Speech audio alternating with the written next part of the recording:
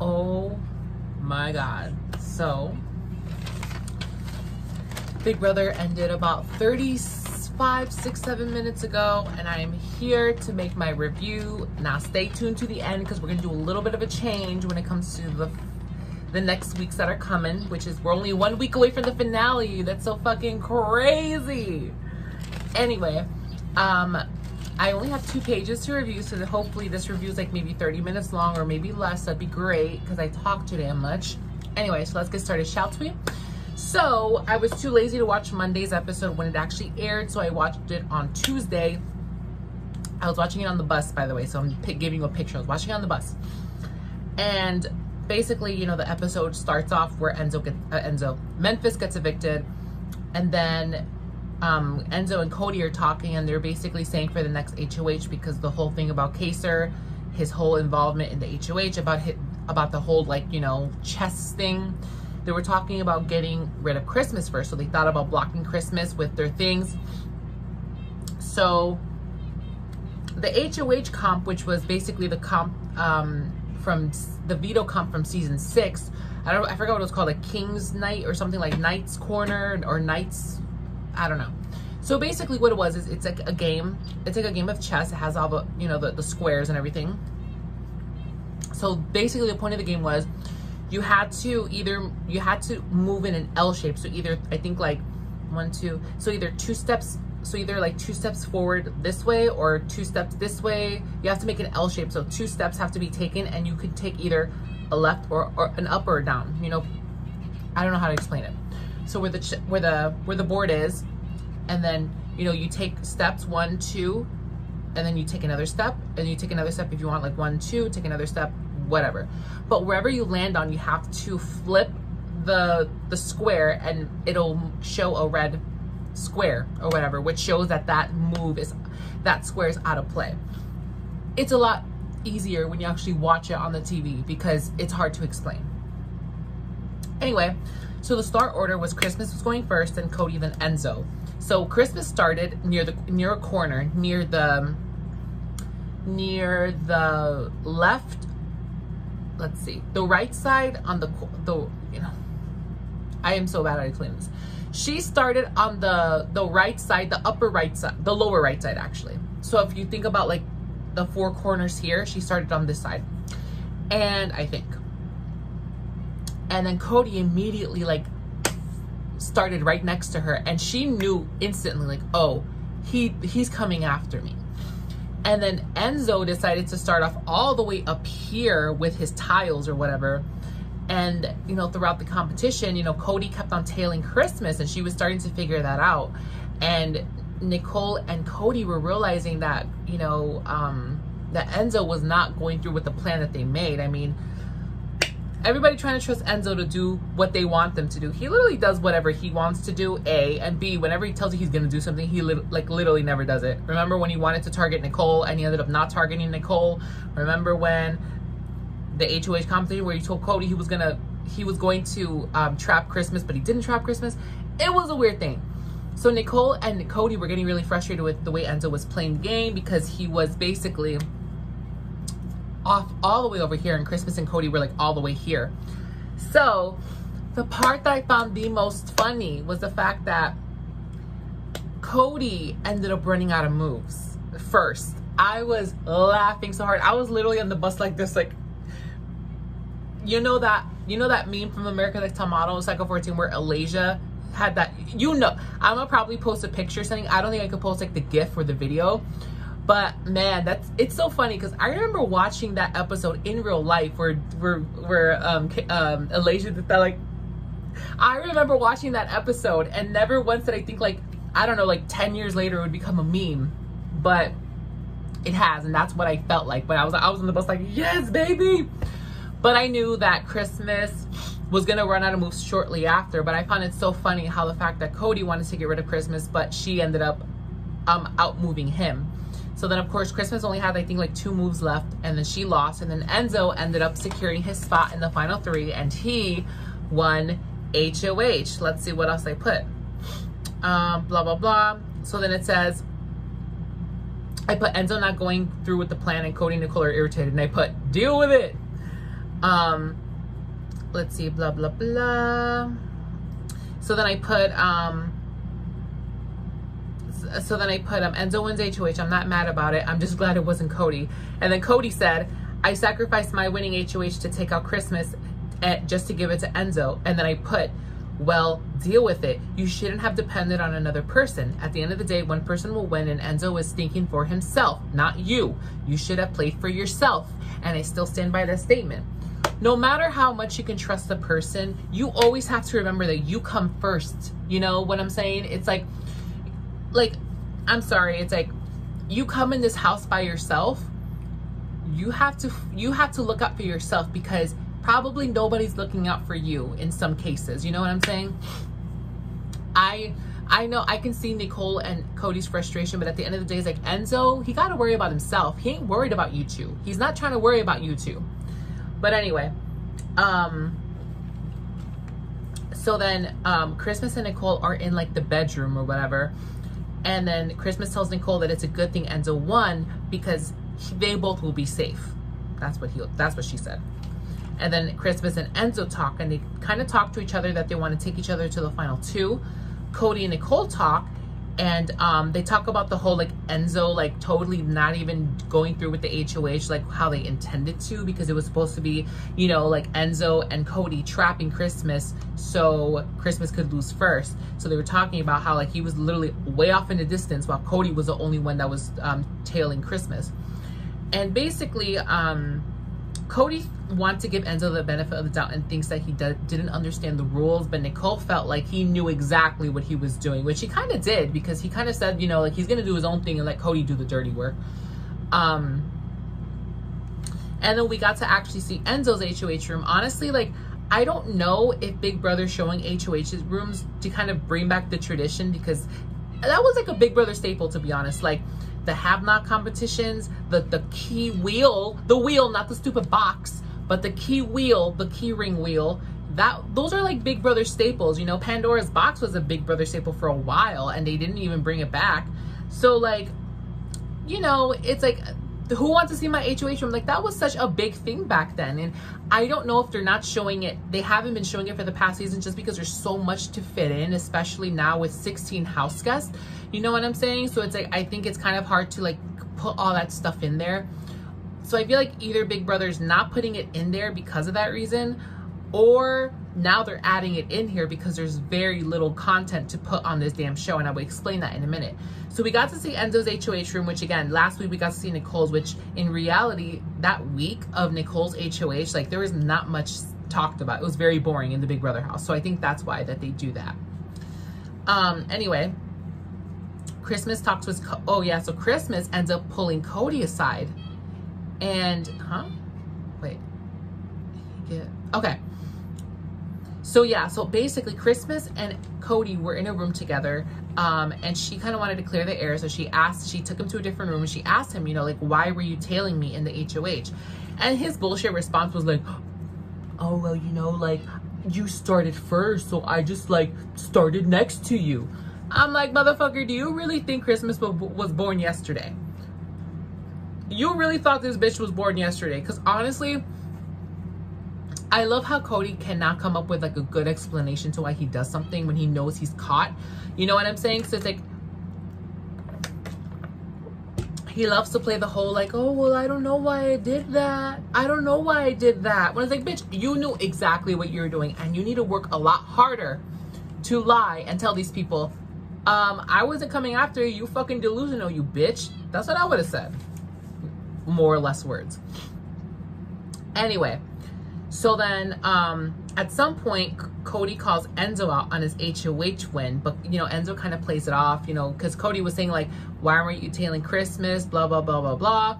And then he was saying, well, I won, and da, da, da. like he wasn't even mentioning the whole Christmas thing. Like, you know, Cody was trying to get like Enzo to talk about why he did that, but he was just more like, I won, we're safe, it doesn't matter. Um, and then they talk, him and Enzo, Cody and Enzo talk about who they want to send home. And Enzo, again, wants to send Nicole home because she is a former winner. And Cody was telling him, like, I, like, I'm not going to keep Christmas over Nicole. Um, and, and again, just to show how much, how much, like, just to show how much like how should I say what makes airtime because you know back in the beginning like all you would see really is just a bunch of game talk you know people talking game and stuff now they're literally showing like just HOH rooms, which is great, but I feel like they're doing that now because they don't really have much content to show. Because we literally just got four random as montages of like random moments in the house that are supposed to be like funny or gimmicky. Like there was one where Nicole was in the Nicole was in the backyard and I was like wondering what was gonna happen. I'm like, what's gonna happen? And she literally just sneezes like 30 times. And I'm just like, that's it? And they just put like little trumpet sounds every time she sneezed. I'm like, Big brother, y'all are really scraping at the bottom of the barrel for something, for something. You're grasping for some content here. The second montage was the scene where there was bananas and they were kind of rotting or something, like they were getting ripe. And then Nicole like what Nicole grabbed the bananas and she kind of touched Cody's sweater with it and he was like saying how he doesn't like the smell of bananas and then the bananas ended up falling and squirting everywhere and yeah okay and then the third thing that they were talking about was um, insecurities that they have. Enzo was in the HOH room, I think, with everybody. So it was Enzo, Christmas, Cody, and Nicole. Um, and Enzo asked, what's your biggest insecurity? I think he said. And I think like, what's your biggest, he said something about your biggest insecurity, like your biggest asset or something. And Cody said that his biggest insecurity was his nose. And Enzo was kind of laughing because he said like, that's so ridiculous because he said that your nose is fine. Mm to be honest, I didn't really see that, to be honest. Like, I didn't really see Cody's nose. Like, honestly, like, I don't think, like, he has a bad nose at all. I, that was, like, the least thing that I thought, like, hmm, what's your insecurity? Um, or something that he should be, like, self-conscious about, I guess. Let me see. What's mine? I will say definitely my biggest insecurity. I don't know. I don't really have a lot of insecurities, to be honest. I'm trying to think of mine. Hmm maybe that my that maybe that my because I do work out, I go to the gym, but my body's not skin tight. Like I can play it off. Like I can look real good in skin tee hunty, but my skin isn't skin tight. Like I don't have like three, four, five percent body fat. You know, I probably have like 30% body fat. So it's like, you know, like I'm not the skinniest person in the world, but I'm also like not the biggest person in the world. I feel like I lay average. But again, it's like my body's not skin tight. Like I wish my body was skin tight. So I think, and I'm not talking about like me losing 100 pounds and me having like that excess skin. I don't have the excess skin. I just need like my stomach area to kind of tone up and I'm working on that. So it's still kind of, you know, we still got some, we still got some skin in there that I kind of want to get rid of. And I don't have the money for a fucking, that machine that has like that ab machine that kind of like dissolves fat while you're getting abs. I don't got that shit, okay? I know some people that do that but I don't do that. That's probably what's my biggest insecurity. But you know what? To be honest, like I can really give, I don't really care. Like I can probably just like walk around shirtless on the beach and I don't really give a fuck.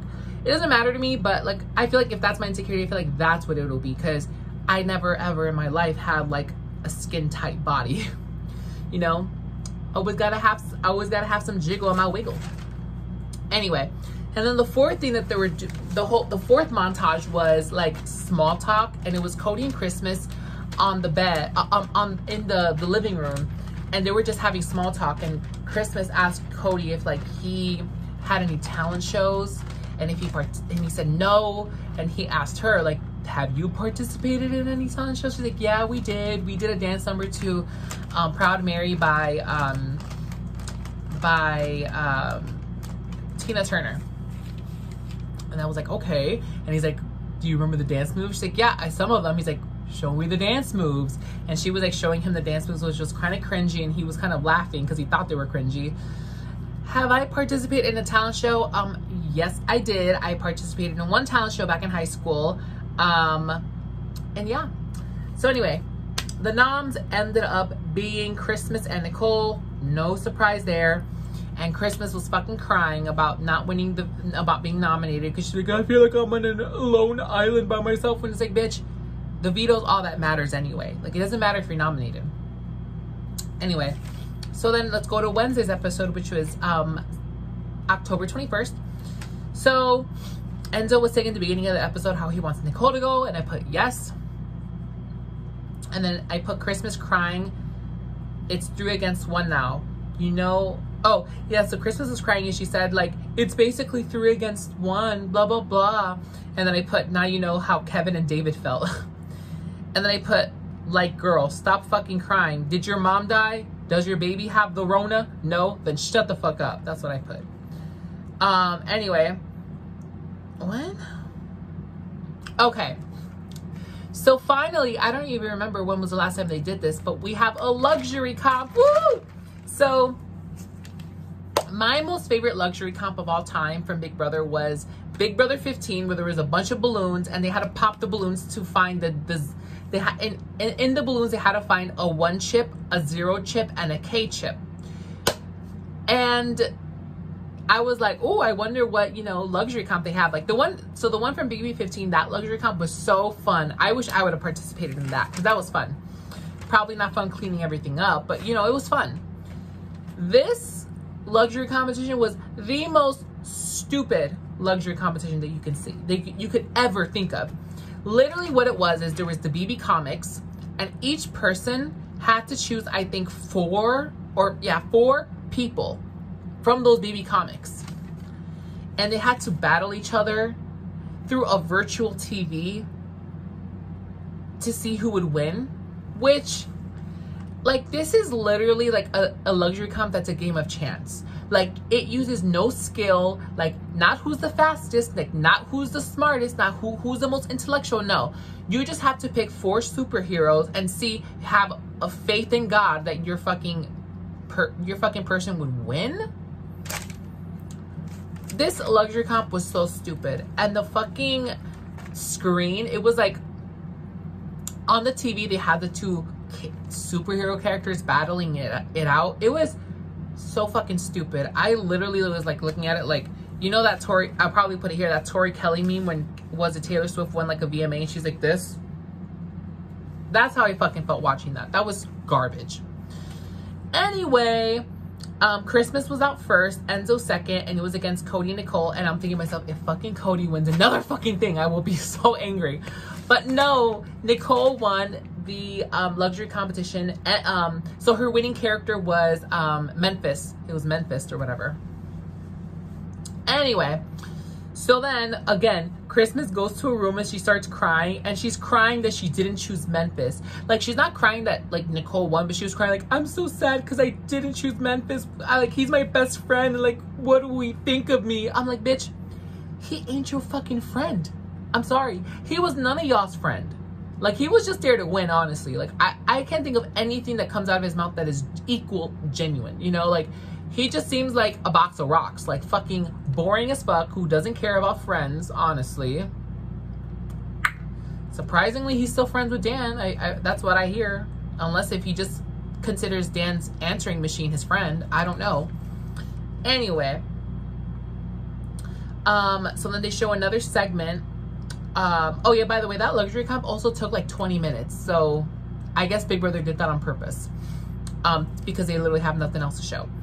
Anyway, Christmas um, was waxing Enzo's eyebrows. and then she um, then she waxes Cody's eyebrows. First of all, where did they get that wax?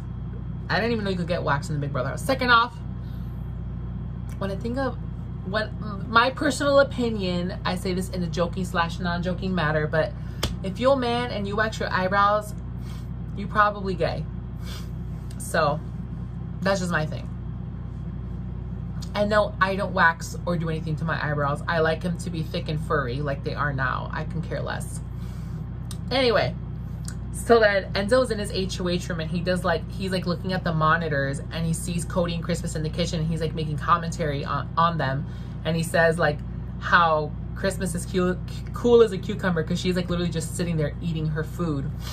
And then he said that Cody looks tense and he was roasting the fact that he was wearing like ankle socks or like knee, like, like some high socks with sweatpants and shoes on, like loafers or something, slippers. Okay. And then um, Enzo was saying how he, he's rooting for Christmas to win the veto and he, he wants to convince her, if she does win, to get rid of Nicole. Girl, no. You can go home with that. And then I put, okay, so the veto comp, which is, oh yeah, so in the veto comp, the little commentary that they give on the cards, it says the BB fans call the the house guests hamsters. When in my life have I ever heard the the people call house guests hamsters? Like never have I heard that. Anyway, so um this was the the typical, you know, what day did this occur? First of all, I don't know how these people remember this because to be honest i'm not sure in the house you really have nothing to do besides just think about the days about what happens during those days because for me it's like like what day was this person evicted or what day was there like a veto used? I'm like i don't fucking remember. I remember the week but i don't remember the exact day. Like that has to be super hard honestly. So it's like when i'm in that house i gotta memorize that shit like oh fuck anyway so I put, I cannot believe I'm rooting for Christmas to win the veto because I literally want her to shake things up, get rid of Cody, do something interesting because this season has been so, so fucking lackluster. Anyway, so it's actually a lot harder than it seems because not only do you have to remember the exact day that something happened, on the hamster wheel, you can only go forward, but you cannot go back, which is like so impossible because if you go over, you got to start all over, baby. So anyway, um, so then on the very first round, Christmas gets a strike because you have three strikes to get out. And I'm thinking to myself, Christmas, you dumb bitch, get it together.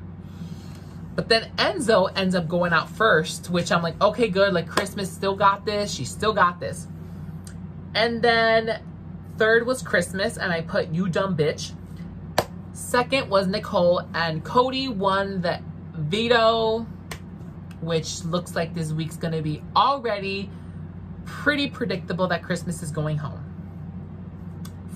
By the way, this is Cody's seventh competition win. He's won three HOHs so far and four vetoes. Which means that he no longer can beat Janelle Pierzina's legendary reign of nine comp wins in a season. So I'm happy about that. That's something to celebrate. But anyway, this also, for the first time ever in Big Brother history, two people will go to the final three without ever being nominated. The, the first time, this was, did I say first time in Big Brother? Actually, second time in Big Brother history.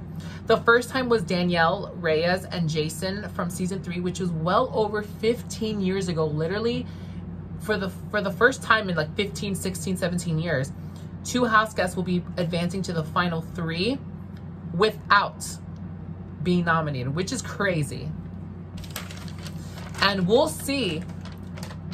We'll talk about this in a minute. Anyway, so, um, yeah, Christmas is crying, and all I thought was, bitch, you deserve to go home. So that means for the first, oh, I put that. So that means for the first time in 17 years, two people make it to the final three, never nominated um yeah and christmas literally was crying this entire episode and i'm thinking to myself bitch i have no sympathy for you you could have taken yourself off and you didn't shut up anyway um and then there was a clip where you know nicole was questioning if cody would try to go after her or try to get rid of her because she's a former winner and then the ending was just basically cody questioning like who he should take because he was basically saying should i stick to my guns should i should i stick to loyalty because but loyalty got me second place. So like, I don't know what to do. Anyway, we're moving on to Thursday's episode, which was October 22nd, 2020. Enzo was telling Christmas that he wanted to keep her and he's trying to convince Cody to, uh, to get rid of Nicole. And then Cody and Nicole are talking and then Nicole was basically saying on her original season she used to be innocent.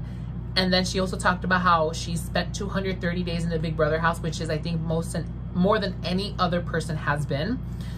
Um, and then Cody jokingly was telling her how she's going to go home for that. And then Enzo, um, what? Oh yeah, and Enzo was basically saying how he thinks it's better for his game to take Christmas to the final three because he knows that she will take him. Um, and then Cody's still leaning on taking Nicole because they were speaking about it. And then, you know, Enzo was thinking like, Enzo was telling Cody this about how he thinks it's better to take Christmas because they, they can both beat her at the end. And Cody's still leaning on keeping Nicole. Um, and then uh, Christmas was talking to the camera in the in the bedroom, talking about how she's she got burned by Enzo three times. Um, and then Christmas, on a last last ditch effort to keep herself safe in advance of the final three, she tells Cody of Enzo's plan of why he wants and of why Enzo wants to keep her and not Nicole. About the whole thing about he wants to take her because she feels like Enzo can't beat Cody. And then she also um, says how he wants Nicole out. And basically, he's been targeting Nicole for the whole season. And then she, um, and then Christmas officially told Cody that she wants to take, she will take him to the final two if she's kept. And then Cody was acknowledging Christmas's fighting hard spirit. And then um, there was a scene where Nicole was imagining winning, and they showed like her season where she won, like in the background or in the foreground or whatever. Um, and then Nicole, and then Nicole, um, oh yeah. So then Cody tells Nicole about Christmas saying that she wants to take him to the final two. And then, you know, Cody was talking about like, this feels like a repeat of Big Brother 16. And he said, should I choose loyalty or someone you know you can beat? And then the next segment is the jury house. And then they were talking about who they want to see, who they want to see through the doors and Day said she wants Enzo to stay. Ian says that he feels like it's Christmas. Kevin says that he wants it to be Cody because he doesn't, he's not his favorite person. And then Dani, of course, loves to give Cody his props because she loves sucking his dick. And then David, oh yeah, so then Kevin thinks it'll be maybe Cody or Memphis. And Memphis ends up coming through the door. And David said that he was pretty happy that to see Memphis because he said on a social level, we never got along. Well, yeah, David, you guys never got along because you're black. And he obviously doesn't like black people because he almost called you the N-word on national television. So he doesn't like Ian either, apparently, because he makes fun of people with disabilities. So y'all should have known this from the beginning, but whatever. Anyway, so then they were watching the video montage of uh, Memphis's eviction, and Day was saying how, you know, she's realizing Nicole's strategy of like literally, like being under the radar and then start winning towards the end. And then, um, and then Tyler even was acknowledging that you know Cody and Enzo are like the bigger targets than Memphis. And then Da'Vonne um, said that in order for Enzo to win, he has to clip Cody. And then Memphis said that he feels that Christmas is the most dangerous player because she will do whatever it takes to to get further, which that is true. Um, and then Dani, okay, so yeah, they were talking about, so basically they were talking about how Nicole makes it to the final two, she may win this because she is a former winner. And then Dani says that she wants to crown a winner that's well-rounded. It doesn't matter if you won. She wants to crown someone who's well-rounded and she feels like Cody's well-rounded. So basically she says, I don't get why people are going to be voting based on like personal, not game. This is coming from a bitch on season 13 when Rachel and Porsche were in the finals. So she voted for Porsche to win when Rachel was clearly the real winner of the season because she felt like Rachel was the floater of the season when in reality, Rachel was on the block five times. She had a wit. She won probably the most competitions out of everybody there. On top of that, she was a target from day one when she came as a veteran. So but you, you, Dani, voted for Porsche to win because you thought Porsche played a better game than Rachel. Bitch, you're delusion. You're delusion. Anyway, but I'm glad that you, um, you know, acknowledge good gameplay now. Thank you. Because of your bullshit vote last time. Girl, no, that was personal. That was personal. Anyway, so then um, we get to, wait, what? Okay. So then we get to the voting and Christmas and Nicole have to give their, you know, final speeches.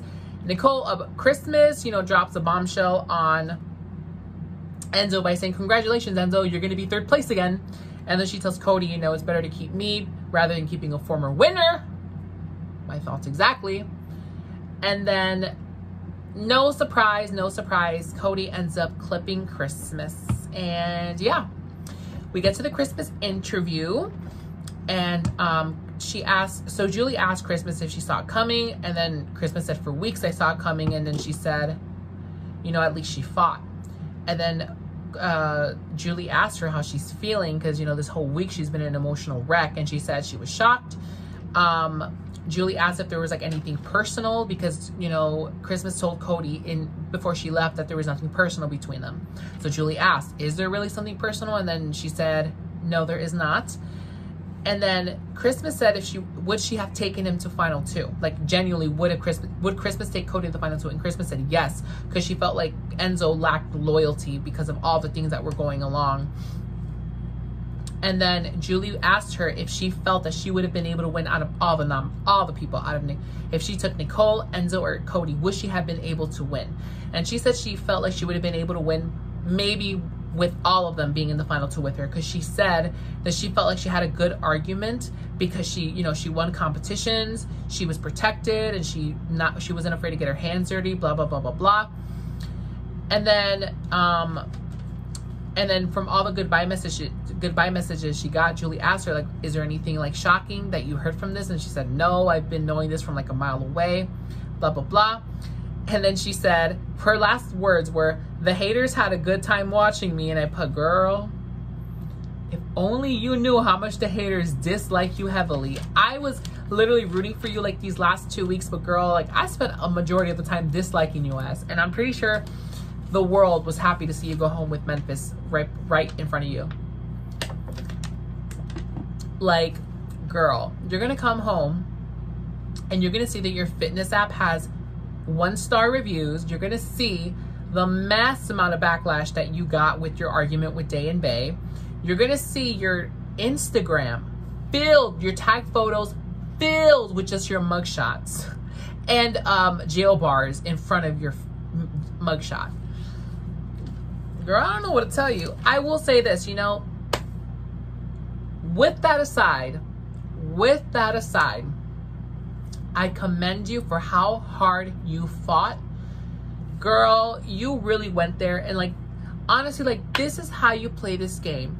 Like even though if you feel like you may be going home just sticking that last ish effort. Like she gave so much effort instead of just saying, "Well, I'm going home. There's not much I can do."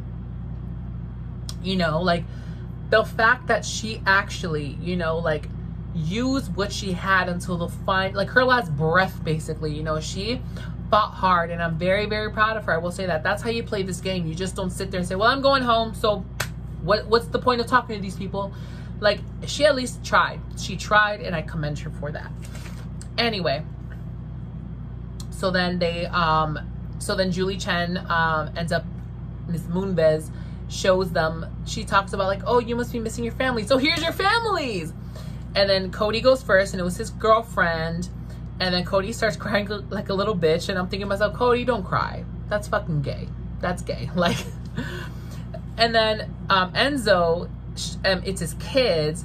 And Enzo was kind of like, it showed like he was going to tear up a little bit, but he didn't cry. He didn't like full fledged cry. Cody was fucking red in the face. He, he was red. It looked like his ass cheeks when they slap it too hard that by his girlfriend when she's pegging him. But like literally like Cody was red as fuck. Enzo, you know, it, looked like he was about to cry, but he held it in. I'm like, that's how a man acts. No, just kidding. Um, but like, yeah. So, and literally the camera was trying so hard. They, they like pop, they expanded on his face to try to get that little tear to come out, but nothing happened. And then Victor was Nicole's um, message and Nicole didn't cry too, like a man. Anyway, no shame in a guy crying, you know.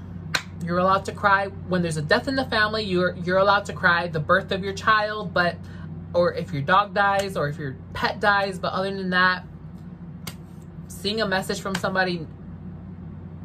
No, just kidding. I'm kidding. I'm kidding. I'm trying to think of the most ridiculous thing I cried about. I most ridiculous thing I cried about. I cried one time when I was drunk because I thought I lost my backpack and it's a big backpack. It's very hefty and i just like literally left it because i went out to go dance and all that stuff and i was by a booth because my friend knew the person who was running the booth. And i literally just left it without even knowing. And i you know i um i was dancing with my friends and blah blah blah and then that's when i realized holy shit my book bag like where's my backpack? I was freaking out. And then the person was like it's right here next to you. It's right here next to me. And i was like oh my god. And i was like i was like literally like about to, I didn't cry, cry like Cody did, but like I was, you know, I was just kind of hysterical. I was like, oh my God, I'm so happy. I thought I lost my book bag. Yeah, that was probably mo the most ridiculous thing I cried about. anyway, yeah. Another thing that too, it's like, I've never been in the Big Brother house, so I don't know personally, but it's like, y'all are away from people for like three months and like y'all are crying. You're crying the fact that you see these people. It's like for me, it's like I feel like yes, I love my family, but if like if I haven't spoken to them in a while, like will I literally like start bawling my eyes out by a message that I get sent from them? You know what I'm saying? Like I don't know. Like does the Big Brother house screw you up that much where it's like you're in a house and you don't have contact with your family for 3 months and the first time you get to see your family, that's when you just start crying. Like I don't know. Like maybe that'll affect me in that way when I'm in there. I don't know. We'll see, but it's really weird because I don't know. It's like I don't feel like I would be that emotional to see something from home. Because there's been times, uh, uh, horrible family member right here.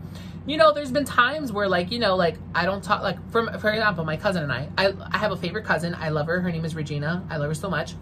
But there are times where we don't talk for like three, four, five months. There was a point where we didn't talk for a year.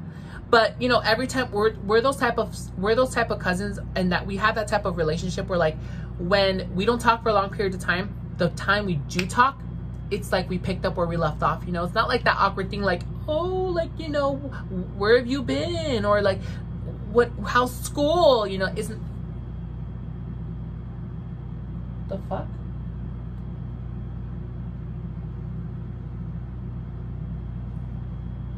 Sorry, I thought I heard something. But that's our type of, you know, rapport, I guess. And yeah, there's been times where I didn't talk to her for like two, three, four, five months. And, you know, when she texts me out of the blue, I'm not like, oh my God, it's her. Like, no, I just say, hey girl, what's up, bitch? What you got going on? You know, like, I don't know. But we'll see. Updates for what's happening is, um, sorry, that's fucking, that freaked me out a little bit. We're not gonna talk about it. Anyway, so the updates that are coming up, it's um so at the end of the episode, Julie announced that there would be um a special Fridays episode, which I think I think they're just they may show just like never like they I'm just I'm pretty sure they're gonna show like unseen moments, you know, from the house, but all the live feeders have probably seen it. I feel like that's what it may be. I may or may not review it we're gonna have a Monday's episode, which will I think show the first part of the head of household competition. And then we have the finale, which is two hours. It said 8, 9 central. I'm pretty sure it's going to be 8 to 10, not 8 to 9. Um, so we have that going on. So I think what I'm going to do is I'm going to probably maybe watch Friday. So I will watch Friday and I will watch Mondays and I will post the, I will post the, um, a review for those days only. So you, so I have this week, which is week 11, I believe, and then I will post and on Monday, this upcoming Monday, I will post Friday and Monday's episode, and I'll put like 11.5, as in week 11.5 because it's half of the week. And the BB finale will be its own separate video. So that's gonna be the schedule. So I'm not gonna be, so yeah, I will be posting a video on Monday for the for the next two episodes that are coming. I'm not gonna I'm not gonna post the I'm not gonna wait till Wednesday to make the whole montage. Like I want the finale to be its own episode. So Friday's episode and Monday's episode will be posted together as those two episodes on Monday. And then Wednesday will be the finale, which I will put in a separate video. The pre-jurors are coming back to speak on the season. I don't know if it's gonna be through Skype, through Zoom, or in person. But anyway, I'm so, so excited. Anyway, see y'all Monday. Until next time, mm, bye.